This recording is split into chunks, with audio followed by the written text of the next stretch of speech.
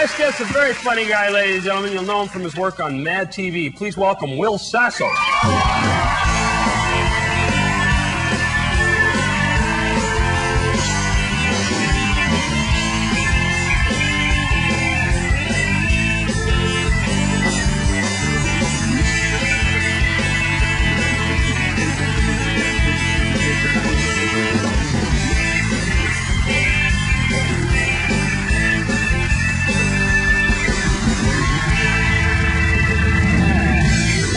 Will Sasso, everybody. Now, yeah.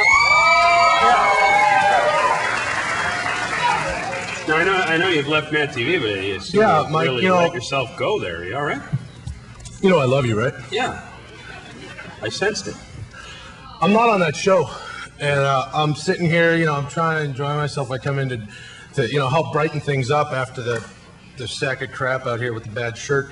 And uh, what do I hear?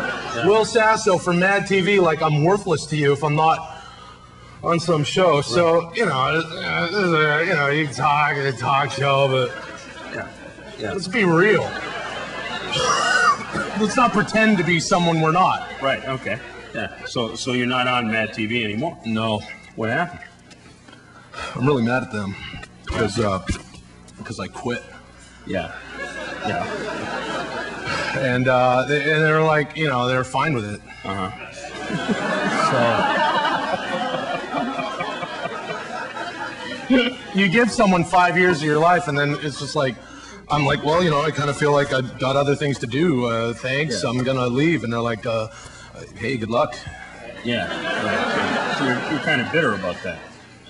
No, I'm not. Why? What? What? What? The what? What out of what I've just said, or how my demeanor, or how I'm acting today, says uh, that I'm I'm bitter? Is there anything irregular No. about the way that I'm acting at all? I'm, I'm way off base here. Way off base.